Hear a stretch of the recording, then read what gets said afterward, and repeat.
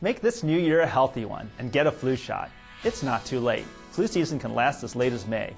I'm Assemblymember Dr. Richard Pan. As a pediatrician, I know how important it is to get you and your children vaccinated before the flu spreads to your family. Flu season has begun, so call your doctor's office today about getting the flu shot. Shots are also available at community clinics and local pharmacies, including grocery stores. So join me and get your flu shot. Together we can build a healthier Sacramento.